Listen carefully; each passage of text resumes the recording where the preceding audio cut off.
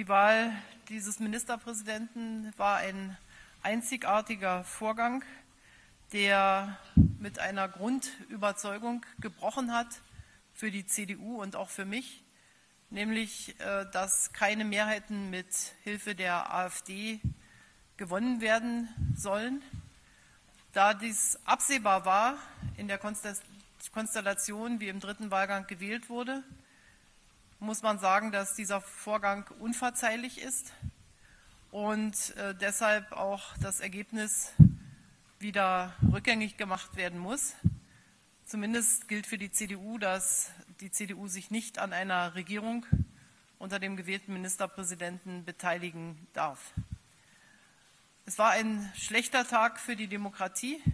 Es war ein Tag, der mit den Werten und Überzeugungen der CDU gebrochen hat. Und es muss jetzt alles getan werden, damit äh, deutlich wird, dass dies in keiner Weise mit dem, was die CDU denkt und tut, in Übereinstimmung gebracht werden kann. Daran wird in den nächsten Tagen zu arbeiten sein.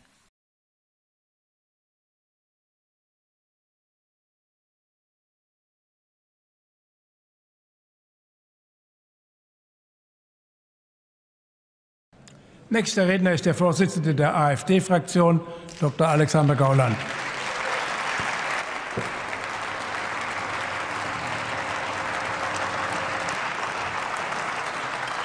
Herr Präsident, meine Damen und Herren! Vertrauen ist eine der wichtigsten Ressourcen der Gesellschaft.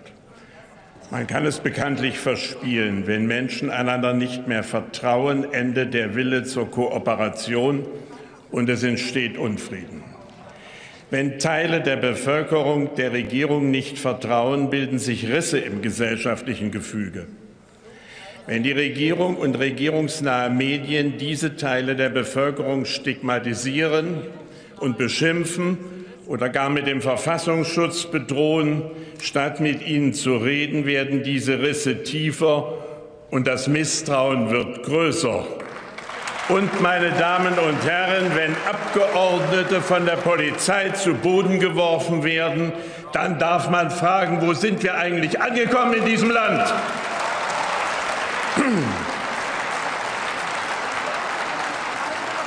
In einem Rechtsstaat wird das Grundvertrauen institutionell gesichert durch die Grundrechte, meine Damen und Herren.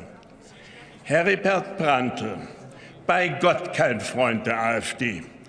Der Chefkommentator der Süddeutschen Zeitung hat dazu bemerkenswerte Worte geschrieben und gesprochen. Ich äh, zitiere mit Zustimmung des Präsidenten. Grundrechte heißen Grundrechte, weil sie die Grundlagen unseres Lebens bilden. Grundrechte sind gerade für die Notzeiten da. Wenn sie in Krisen und Notzeiten weggeschoben werden, dann sind sie nichts wert. Dann kann man sie vergessen. Heribert Brandte, nicht Alexander Gauland. Das Infektionsschutzgesetz der Bundesregierung ist die größte Grundrechtseinschränkung in der Geschichte der Bundesrepublik. Wenn wir den Gedankengang von Herrn Brandte fortsetzen, heißt das, wir können die Grundrechte vergessen. Das Misstrauen, meine Damen und Herren, wird explodieren. Das sehen Sie auf den Straßen. Das sehen Sie in der Aggression, die Sie überall spüren. Und Sie sehen es in vielen Städten und heute auch vor dem Bundestag. Diese Menschen treten für ihre Grundrechte ein und müssen nicht vom Verfassungsschutz beobachtet werden. Viele Bürger haben existenzielle Sorgen und Fragen. Sie wollen nicht nur wissen, wie es mit ihren Geschäften, Lokalen oder Kulturstätten weitergehen soll, sondern sie fürchten angesichts ausgesetzter Grundrechte um ihre Freiheit. Corona-App, Kontaktverfolgung, digitale Gesundheitskontrolle, indirekte Impfpflicht, das sind ja alles Symptome einer nahenden, smarten Gesundheitsdiktatur. Die Menschen fragen sich beispielsweise, ob sie Nachteile haben werden, wenn sie nicht impfen oder nicht registrieren lassen wollen. Kommt man dann eines Tages nicht mehr ins Restaurant oder zum Sport oder ins Ausland? Wer so etwas fragt, den nennt man bekanntlich Verschwörungstheoretiker. Doch in China ist diese Art Totalüberwachung bereits Fakt, und wir wollen auf diesem Wege kein Stück mitgehen. Die FAZ, der man nicht zu nahe treten wird, wenn man sie regierungsnah nennt, twittert, die hohen Corona-Zahlen in vielen westlichen Ländern werfen die beunruhigende Frage auf, ob offene Gesellschaften weniger geeignet sind, auf globale Bedrohungen zu reagieren als autoritäre Systeme. Will dort jemand schon mit dem Zaunpfahl winken?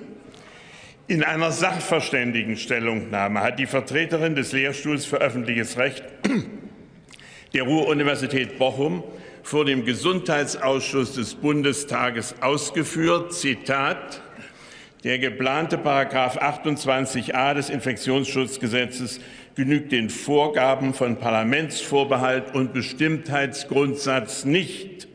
Die Vorschrift lässt keinerlei Abwägung der grundrechtlich betroffenen Interessen erkennen, sondern will offenbar einseitig das bisherige Vorgehen während der Corona-Epidemie legitimieren. So die Sachverständige im Gesundheitsausschuss.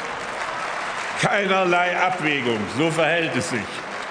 Denn was ist es anders als maßlos und unausgewogen, wenn die Unverletzlichkeit der Wohnung zur Disposition gestellt wird? Wenn die Kanzlerin allen Ernstes erklärt, Kinder sollten nur noch einen Freund treffen dürfen. Liebe Freunde, haben wir denn die Pest im Lande, Frau Bundeskanzlerin? Meine Damen und Herren, was ist eine Pandemie von nationaler Tragweite? Wer das definiert, verfügt heute über den Ausnahmezustand. Anscheinend ist Herr Drosten der aktuelle deutsche Souverän und die Argumente anderer Virologen und Epidemiologen, die sich gegen den Lockdown aussprechen, werden beiseite gewischt. Etwa das Papier von Herrn Streeck und der Kassenärztlichen Bundesvereinigung, das auch zahlreiche Ärzteverbände unterzeichnet haben. Die Unterzeichner fordern ein bundesweit einheitliches Ampelsystem, anhand dessen sich sowohl auf Bundes- als auch auf Kreisebene die aktuelle Lage auf einen Blick erkennen lässt. Sie setzen auf Gebote anstelle von Verboten, auf Eigenverantwortung anstelle von Bevormundung. Sie plädieren für die Förderung von Hygienekonzepten anstelle von Schließungen sowie den Schutz von Risikogruppen durch spezielle Maßnahmen. Wir unterstützen solche vernünftigen Ideen, so wie wir uns den wirtschaftlichen und zwischenmenschlichen ruinösen Notstandsmaßnahmen widersetzen. Wir werden noch viele Monate mit dem Virus leben müssen. Und die Bürger wissen das. Die meisten gehen verantwortungsvoll mit der Situation um, so wie die Wirte, die Bühnenkünstler, die Konzertveranstalter verantwortungsvoll mit der Lage umgingen. Sie haben sämtliche Besucher registriert. Sie haben ihre Kapazitäten beschränkt. Sie haben Hygienekonzepte entwickelt und dafür bei sinkenden Einnahmen Geld ausgegeben. Dass man sie trotzdem zusperrt, ist unerträglich und das läuft auf Diktatur hinaus. Ich habe an dieser Stelle schon gesagt, und ich werde es nicht müde zu wiederholen, der Souverän dieses Landes ist das deutsche Volk, repräsentiert durch dieses Parlament. Nur dieses Parlament kann Grundrechtseinschränkungen beschließen, und zwar nach Abwägung aller Argumente auf eine exakt begrenzte Zeit. Nicht mal das haben Sie festgelegt, eine exakt begrenzte Zeit. Meine Damen und Herren, dass die Regierung die vom Volk gewählten Abgeordneten vor vollendete Tatsachen stellt, widerspricht dem Geist der Demokratie und dem Grundgesetz. Allein deswegen lehnen wir dieses Gesetz ab. Und Herr Buschmann, nicht, weil wir dieses Parlament nicht wollen, weil wir die Demokratie nicht wollen, sondern weil wir offensichtlich in diesem Lande die einzige demokratische Fraktion sind.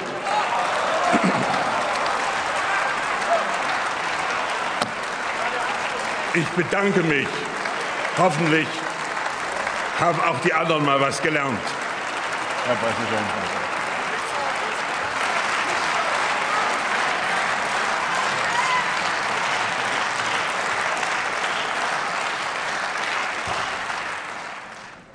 Nächster Redner ist der Bundesgesundheitsminister Jens Spahn.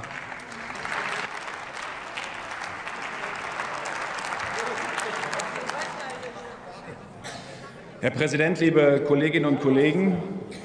Diese Pandemie ist ein Jahrhundertereignis.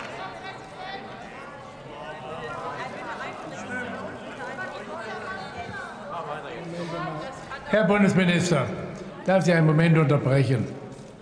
Liebe Kolleginnen und Kollegen, im Parlament tragen wir unterschiedliche Meinungen mit Argumenten aus. Die mögen gut oder schlecht sein, aber wir tragen sie nicht mit transparenten und ähnlichen Dingen aus. Und deswegen ist meine dringende Bitte, aber es ist jetzt eine Bitte, ich äh, kann es aber auch gleich so entscheiden, bitte tun Sie diese äh, Schilder oder Plakate oder was immer ist, unverzüglich wieder entfernen.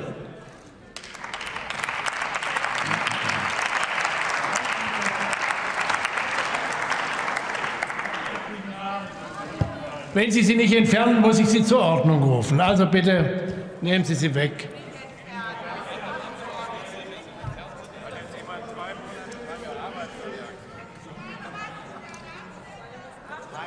Wenn wir uns alle ans Grundgesetz halten, ist es gut. Jetzt entfernen wir die Plakate und das Wort hat der Bundesminister Jens Spahn. Herr Präsident, liebe Kolleginnen und Kollegen, diese Pandemie ist ein Jahrhundertereignis, ein Naturereignis, ja gleichsam eine Naturkatastrophe. Sie ist eine Zumutung und eine Bewährungsprobe. Sie ist schicksalhaft über uns gekommen in unserer modernen, komplexen Zeit. Und in dieser Jahrhundertpandemie ist klar, egal was wir tun oder ob wir nichts tun, es entsteht Schaden. Egal was wir entscheiden oder ob wir gar nicht entscheiden, es entsteht Schaden. Die Frage ist, wo entsteht welcher Schaden? Es geht um wirtschaftlichen Schaden für viele einzelne Bürgerinnen und Bürger und für die Volkswirtschaft. Es geht um sozialen Schaden, menschliche Härten und Ausnahmesituationen. Es geht um gesundheitlichen Schaden, Leid und Tod. Wir müssen nun gewichten, Prioritäten setzen, abwägen. Herr Bundesminister, gestatten Sie eine Zwischenfrage des Abgeordneten? Nein, Herr Präsident, ich möchte meine Rede jetzt gerne im Gesamtzusammenhang halten. Wir müssen nun gewichten, Prioritäten setzen, abwägen und tun dies seit Beginn der Pandemie. Die Wissenschaft kann uns beraten, liefert Fakten und Einschätzungen. Aber kein Virologe, kein Infektiologe, kein Mikrobiologe, kein Professor Drosten und auch kein Professor Bhakti kann uns diese Aufgabe abnehmen, diese Entscheidungen zu treffen. Wir im Deutschen wir im Deutschen Bundestag und in der von ihm legitimierten Regierung, wir müssen gewichten, welchen Schaden wir wo, wie ertragen wollen und ertragen können. Der Schutz der Gesundheit, der steht dabei nicht absolut. Ja, er ist abzuwägen mit anderen Grundrechten. Aber die körperliche Unversehrtheit steht übrigens auch in dem Grundgesetz, das Sie gerade hochgehalten haben. Ist Ihnen das Leid, davon habe ich gar nichts gehört, Herr Gauland, ist Ihnen das Leid auf den Intensivstationen, in den Krankenhäusern, in den Familien, diejenigen, die Langzeitschäden haben, ist Ihnen dieses Leid egal? Das ist doch die Frage, die sich stellt.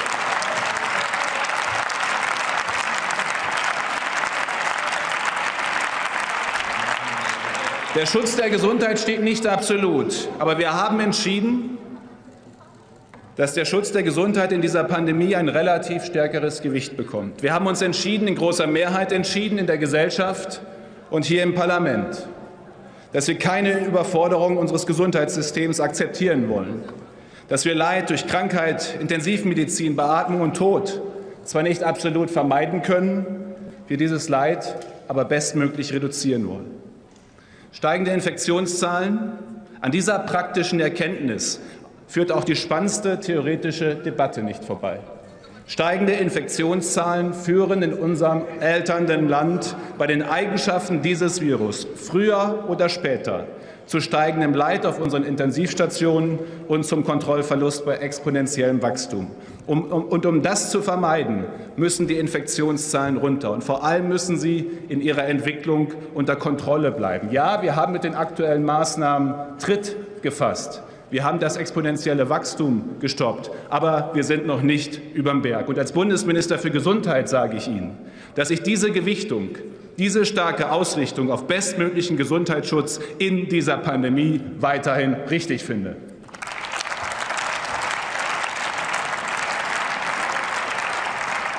Da aber nichts absolut gelten kann, auch nicht der Schutz der Gesundheit, geht es um die richtige Balance, das richtige Austarieren.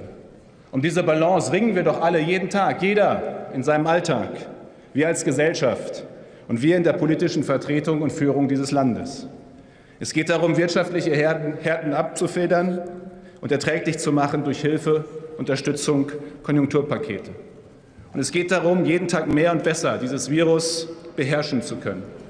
Durch die AHA-Regeln, durch das Reduzieren von Kontakten, durch neue und mehr Testmöglichkeiten und immer bessere Schutzkonzepte, durch neue und bessere Medikamente und ja als entscheidenden Schritt zur tatsächlichen Kontrolle über dieses Virus vor allem auch durchs Impfen. Und weil es ja schon wieder anders behauptet wird, auch in den sozialen Medien, ich gebe Ihnen mein Wort, es wird in dieser Pandemie keine Impfpflicht geben. Hören Sie endlich auf, anderes zu behaupten.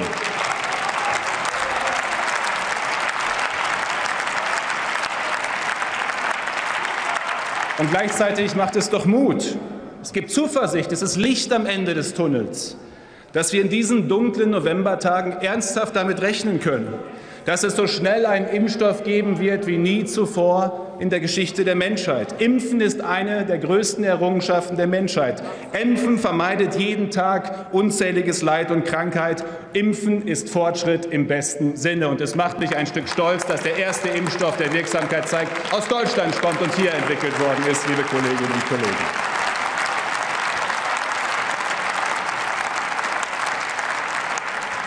Wir sind, meine Damen und Herren, bis hierhin gut durch diese Krise gekommen.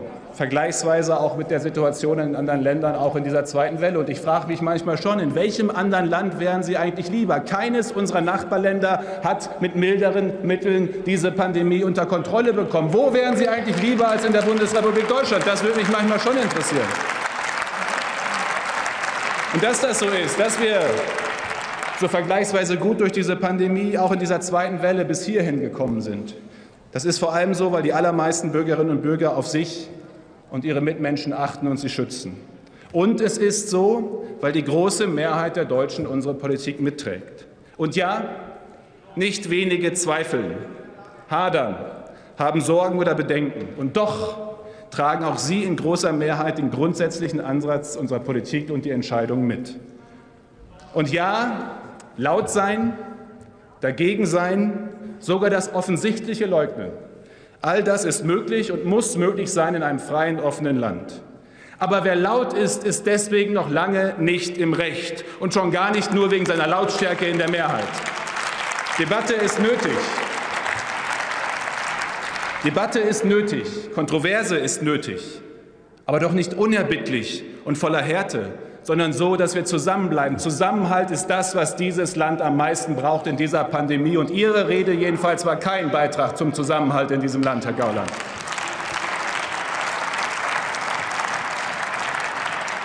Herr Präsident, liebe Kolleginnen und Kollegen, wir wollen weiter gut durch diese Krise kommen.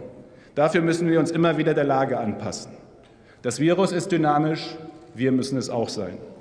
Daher nun das dritte Bevölkerungsschutzgesetz in neun Monaten das uns in dynamischer Lage die rechtliche Grundlage gibt, mit diesem Virus noch besser umzugehen. Wir als Bundesregierung und die Landesregierung, wir brauchen in dieser Pandemie die Befugnisse und Instrumente zu handeln und zu entscheiden, zum Schutz und zum Wohle unserer Bürgerinnen und Bürger. Und diese Befugnisse und diese Instrumente, die kann uns nur von dem vom deutschen Volk gewählten Bundestag gegeben werden. Und darum bitten wir Sie heute.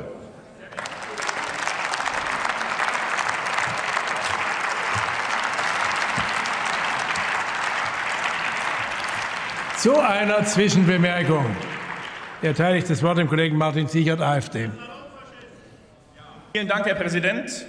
In unserem Nachbarland Dänemark ist das Coronavirus ja bereits seit einigen Wochen mutiert. Ich habe die Bundesregierung gefragt, welche Maßnahmen sie denn ergreift, um unsere Mitbürger vor diesem mutierten Virus zu schützen. Die Antwort war, sie tut nichts keine Grenzkontrollen, keine flächendeckenden Gesundheitstests für Einreisende aus Dänemark. Es gibt keine speziellen Maßnahmen zum Schutz der Bevölkerung vor dem mutierten Virus.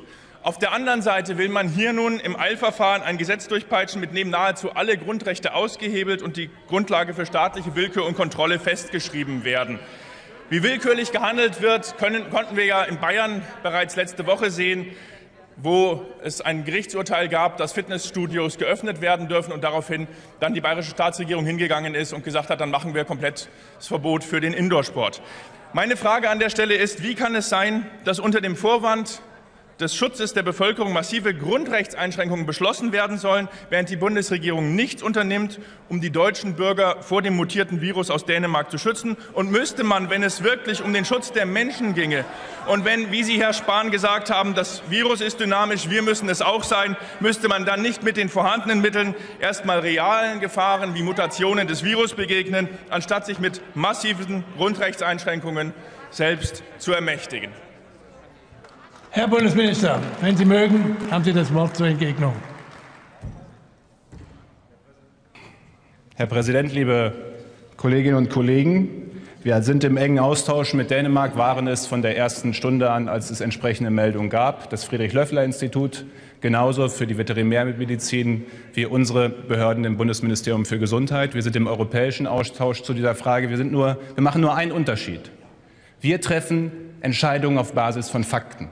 Und alles, was wir bis jetzt im Austausch mit den dänischen Kolleginnen und Kollegen, im engen Austausch auf wissenschaftlicher Basis an Erkenntnissen haben, gibt es viele Spekulationen, aber überhaupt keine Erkenntnisse zu dem, was Sie gerade unterstellt haben. Und solange wir keine Fakten haben und keine Evidenz, ergreifen wir nicht, um irgendwelche Maßnahmen zu ergreifen, Maßnahmen. Das ist der Unterschied zwischen Ihnen und uns. Und zum Zweiten machen Sie jetzt auch ein wenig doch die Argumentation Ihres eigenen Fraktionsvorsitzenden hinfällig. Entweder ist dieses Virus, wie dargestellt, nicht weiter schlimm und braucht keine Maßnahmen, oder aber wir müssen schon bei dem leisesten Verdacht, selbst ohne wissenschaftliche Basis, Maßnahmen ergreifen. Beides zusammen geht nicht. Beides geht nicht. Und deswegen